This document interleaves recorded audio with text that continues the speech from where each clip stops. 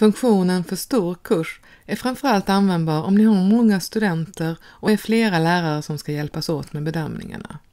Nu är inte detta en stor kurs, men jag ska ändå visa i denna kursen, för här är en kurs där jag under personer har varit inne och gjort basgrupper.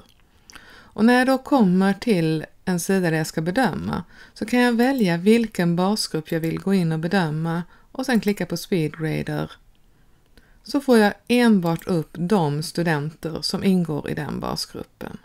Om jag sen vill fortsätta att bedöma studenter i en annan basgrupp så behöver jag gå tillbaka till uppgiften och så väljer jag en annan basgrupp och går in i den gruppen.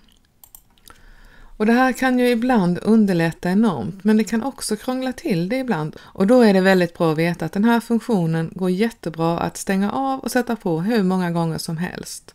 Och jag ska visa var du stänger av och sätter på den. Du rullar längst ner och så väljer du inställningar.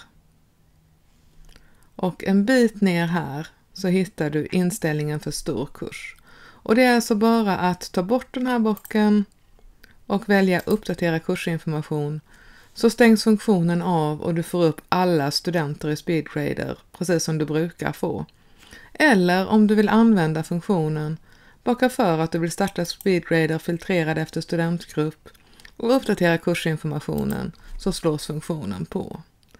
Det du behöver veta är att den här inställningen gäller för alla lärare i kursen.